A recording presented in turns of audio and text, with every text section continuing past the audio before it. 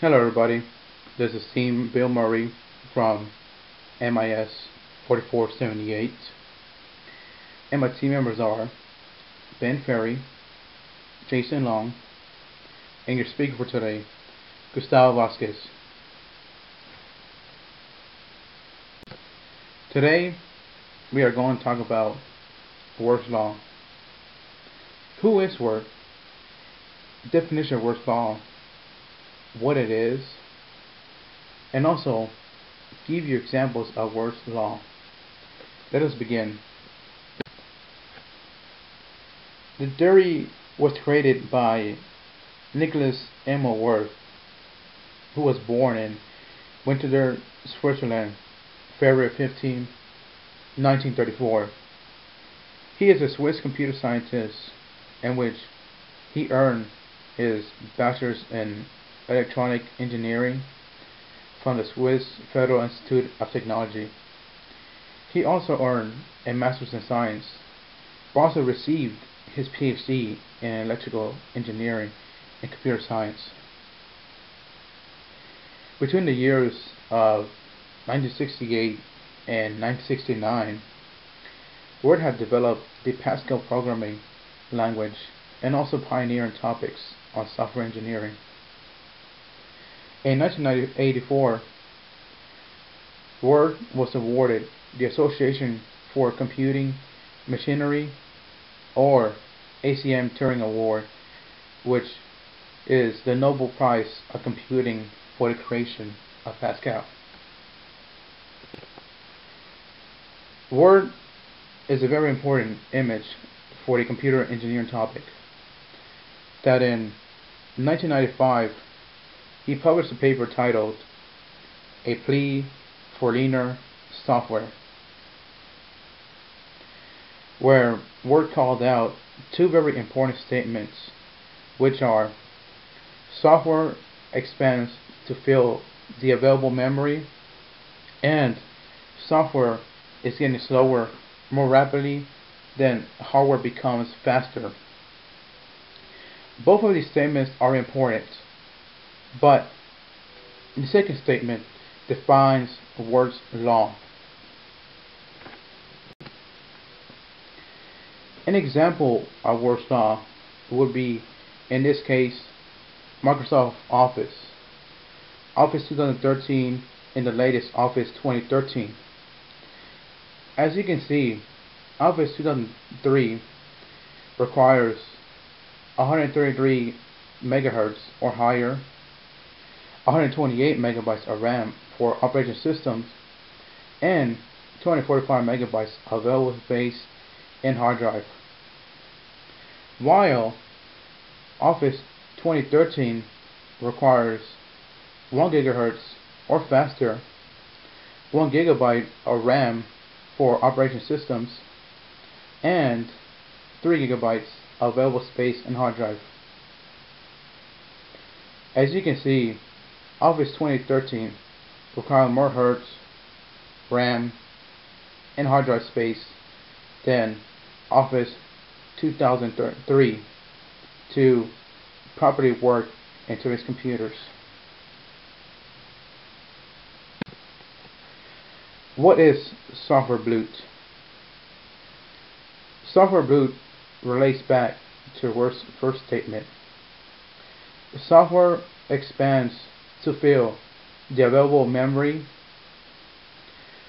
Computer manufacturers keep increasing processing power and the amount of memory a computer can hold. Software developers simply add more complexity to programs in order to make them do more.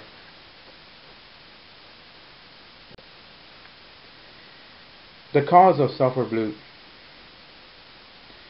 there are two reasons why this happens. The first one is customers. Customers or computer users who use the software casually. The other is the vendor of the software or people who create the software and putting everything together.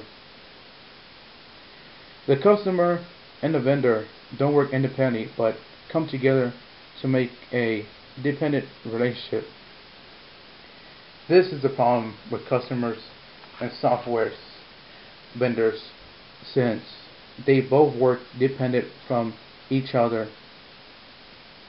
Vendors make new software only thinking about themselves instead of what the customer really needs. Software tends to have unnecessary features and very complex that customers may find the software not user-friendly. An example of software bloat is Windows XP and Windows Vista. These are the pros and cons of both window operation. Windows XP is fast, easily navigable, developer friendly, and easy. The cons of it, not very secure, and lots of backdoors.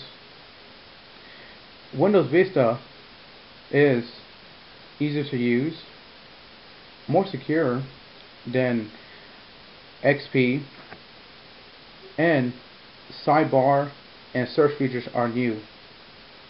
But the cons of it differ enough to confuse people, confusing, hard to install, and many programs not work on Vista. Windows Vista is by far one of the worst software Microsoft has ever published. Many users found out that Vista has so many bugs, problems, and very complicated to use that many people ended up sticking with Windows XP.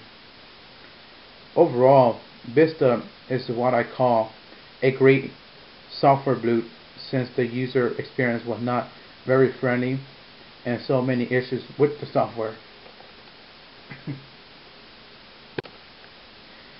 the solution to software bloat. The software companies need to keep things simple for users to use.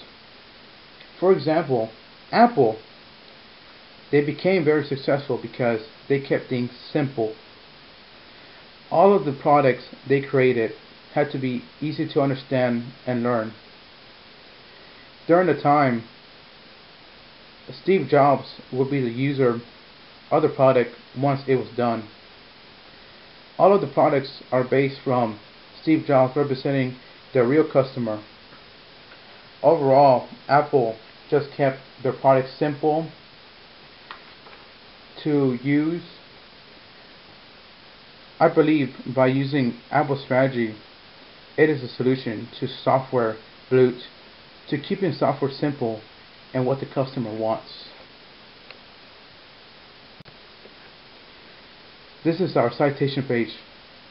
It has been a pleasure to speak for you guys and I hope you have enjoyed this presentation.